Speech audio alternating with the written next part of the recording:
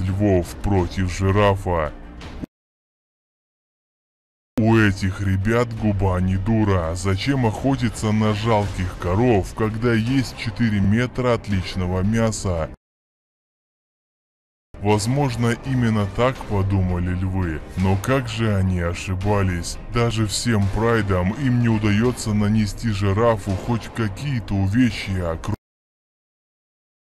кроме царапин, как от детворы отбивается удивленное животное. Львам еще несказанно повезло, что в них не попали копытом, иначе исход был бы не таким веселым.